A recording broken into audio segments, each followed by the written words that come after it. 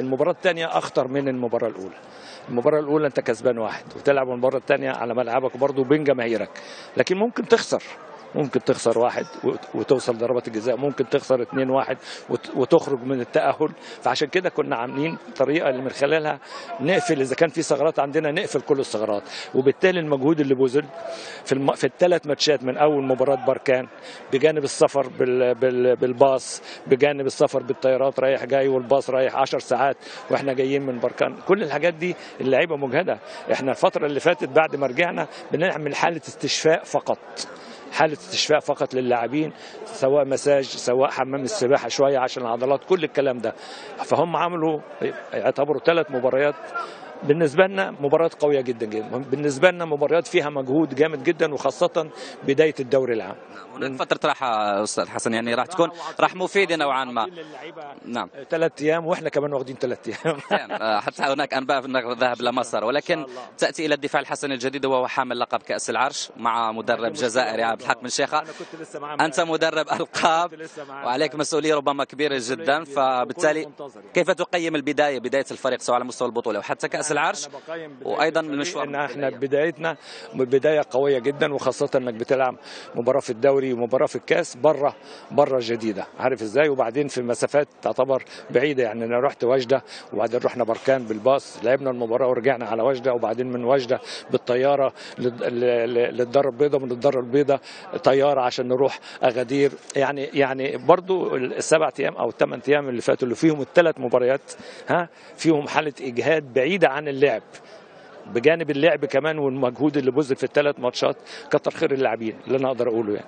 وبالنسبة للمقابلة اللي جرينا اليوم فهي كانت مقابلة صعبة بحكم أننا سجلنا هدف خارج الميدان أننا سجلنا ربحنا بواحد لزيرو.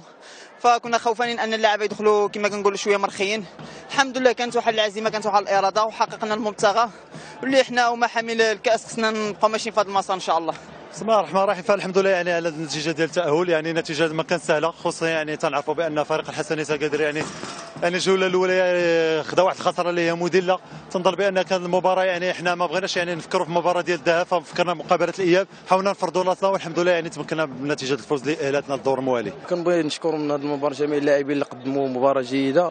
يعني كان علينا واحد الضغط من الجمهور ديالنا باش نزكيو بأن إحنا بف- بحكم فريق الدفاع الحسني الجديد هو هو حامل لقب الموسم الماضي.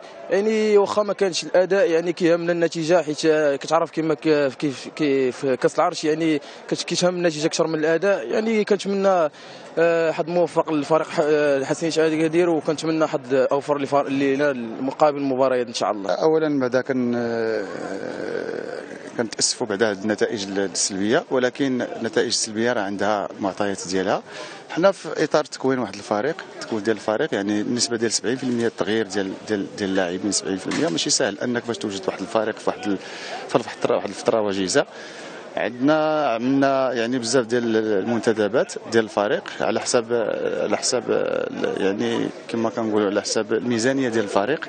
يعني ما يمكنلكش أنك تجيب لاعبين اللي هما في في واحد المستوى ولا فين كيطلب سميتو. دونك حاولنا أننا نستغلوا يعني نجيبوا لاعبين اللي باش الخصائص ديالنا المهم اللي هو في الفريق. وكاينين شبان اللي هما في إطار التكوين. وحنا رانا في صدد آه، تكوين هذا الفريق هذا. يعني من هنا لواحد ال- واحد ال- الشهر آخر إن شاء الله. فلا بد هذا الفريق ينسجم. خصنا عمل خصنا عمل. فهذه النتائج السلبيه فهي سلبية بالنسبة للفريق ولكن إيجابية بالنسبة لل- لل- لل- للمدرب اللي كيعرف فيها بزاف ديال الحوايج اللي هما الخصائص ديالو.